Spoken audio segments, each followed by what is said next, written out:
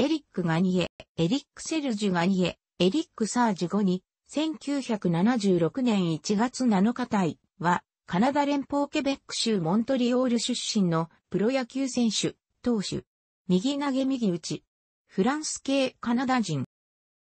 84試合連続セーブ成功記録を持つ MLB 史上屈指のリリーフ投手。2002年から2004年の3年間で158、セーブ機会中152セーブ成功を記録し、セーブ王となった2003年シーズンには、非先発型投手長祭、ヤング賞を受賞、メジャーを代表する抑え投手となった。しかし2005年頃からは故障が相次ぎ、その後は多くの球団を渡り歩きつつ、再起を図るも王子の輝きを取り戻せないまま2010年に現役を引退。その後、2015年と16年に独立リーグで現役復帰している。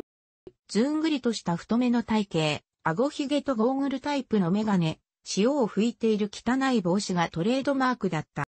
カナダのケベック州モントリオールで、フランス系の家族に生まれる。モントリオールの郊外で育ち、少年時代は野球よりもアイスホッケーに熱中していた。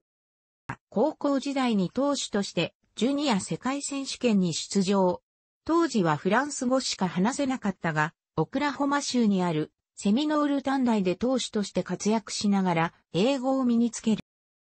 1994年の MLB ドラフトでシカゴホワイトソックスにドラフト30巡目指名されるが契約を結ばなかった。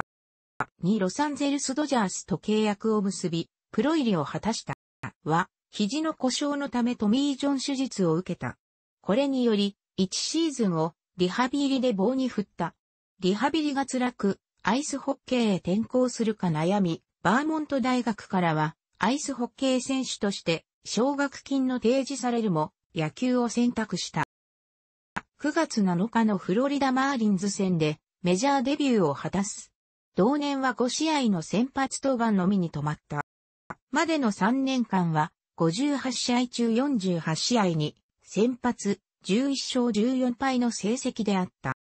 のスプリングトレーニングで他の先発投手が好調なためリリーフに転向を言い渡された。シーズン4試合目の登板となった4月7日にメジャー初セーブを記録して以降、セーブを量産し、MLB 史上最速で20セーブ、56試合、30セーブ、82試合で達成。ジョン・スモルツの55セーブに次ぐ52セーブを挙げ、トッド・ウォーレルがに記録した44セーブの球団記録更新した。114奪三振を記録し、リリーフとしては、オクタビオ・ドーテルの118奪三振に次ぐ多さで、球団史上歴代3位に入った。オフの日米野球で MLB 選抜の一員として来日した。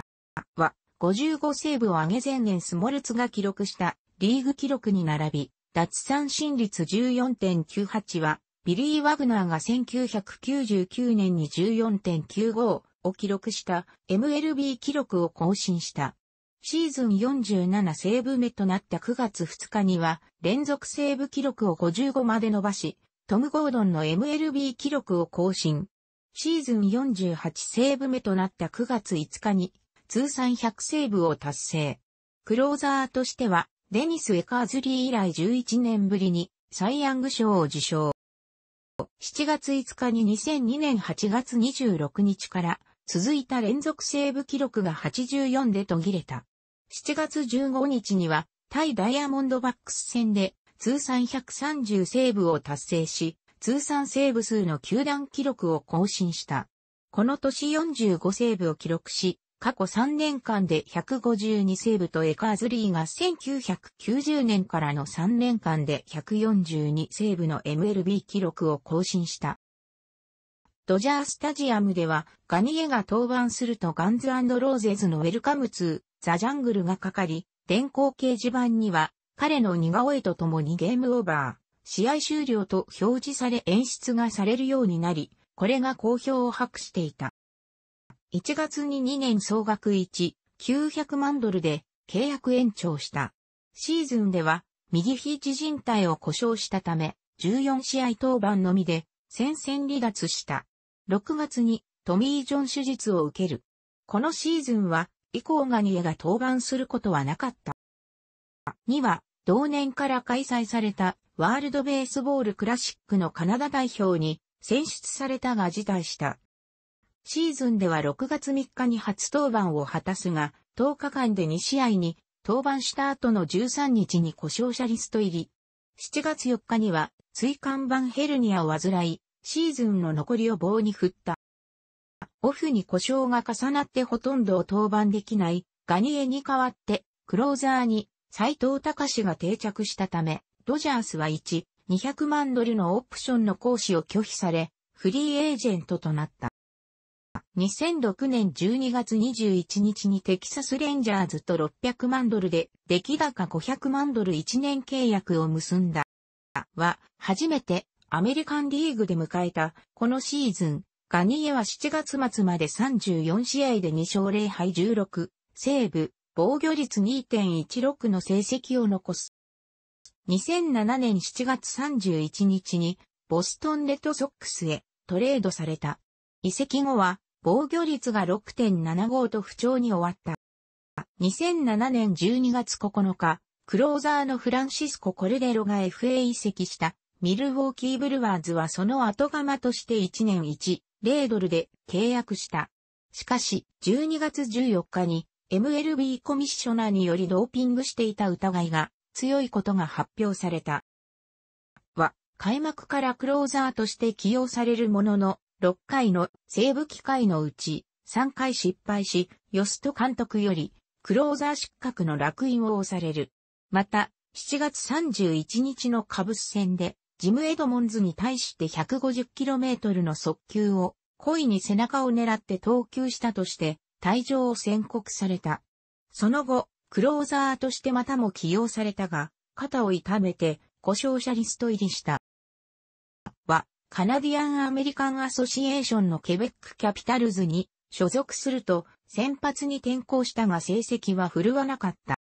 は、フルス・ドジャースとマイナー契約を結んだ。オープン戦で防御率20.25と振るわず3月21日に解雇された。